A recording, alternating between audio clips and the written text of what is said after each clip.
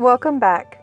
I hope you enjoyed these stories from the Great Depression. The year was 1938, not a good year for many people. In looking back over the years, I can remember many Christmases, some happy and some sad, but one stands out in my memory as very special. It started out to be a sad holiday, as we were locked in the depths of the Great Depression. Our parents had told us not to expect a lot, as Santa had to spend his money on food for the poor. My father was still working, but his salary had been cut in half and he was working longer hours. He was so tired when he came home that he would eat and go right to bed.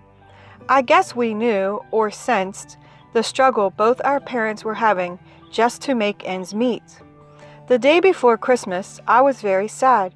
My doll had disappeared and I couldn't find her anywhere. Other toys were missing too, and we had nothing to play with and nothing to look forward to. On Christmas Eve, I was sent to the grocery store, and the grocer told me I had just missed seeing Santa. If only I had been there a few minutes earlier. I began to cry, and the grocer gave me a package of nuts to take home for Christmas. When I got home, I had a feeling that perhaps Santa had visited our house. With my heart pounding, I ran inside and looked under the tree, but nothing was there. We children went to bed with heavy hearts. I didn't think I would ever be happy again.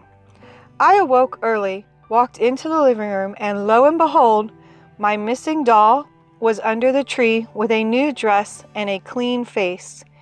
Our doll furniture was under the tree too, now painted snow white. In fact, every toy that had been lost was back looking like new. We shouted for joy as we picked up our lost treasures. We were the happiest children in the world. Then we gave our parents their gifts, calendars we had made for them at school.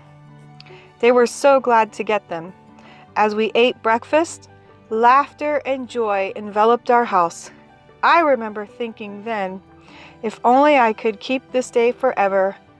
And I've done just that in my heart. I hope you enjoy this and many other stories from the Great Depression.